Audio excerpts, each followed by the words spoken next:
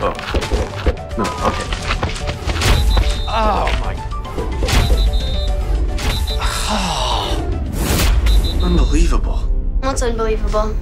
This guy I was playing, I couldn't even get near him. Well, that teaches you not to mess with the Dark Master. What?